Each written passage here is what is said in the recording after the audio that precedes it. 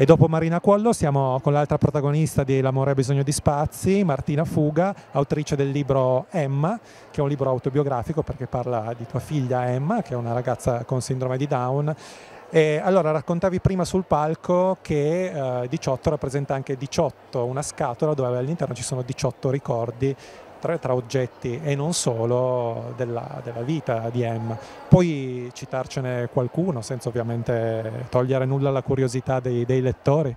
Sì, allora nella scatola, nella time capsule che regalo a Emma per il suo diciottesimo compleanno eh, c'è un telefonino per esempio che era quello che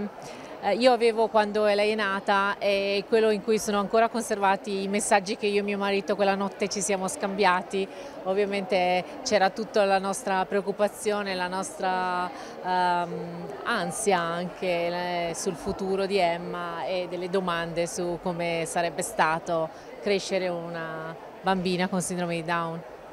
Ecco, adesso a 18 anni, appunto, che sono i protagonisti di, di questo libro, come è cambiata anche, come entra il rapporto, il vostro rapporto all'interno del libro?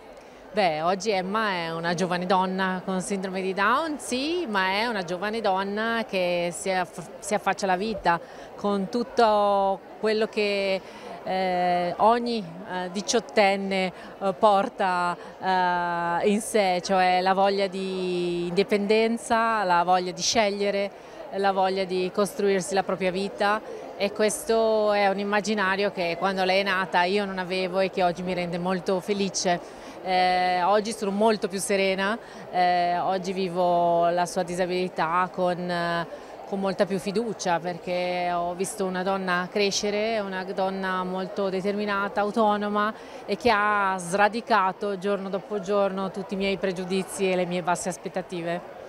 Un'altra cosa molto interessante era come ha accolto invece lei il libro, quindi vedersi rappresentata. Beh, Emma insomma, è una ragazza che a 18 anni è piena del suo ego e della sua voglia di, di essere vista eh, e quindi era, è molto fiera eh, di questo racconto, ma è stato anche un momento per noi molto bello di condivisione perché io ho sentito il dovere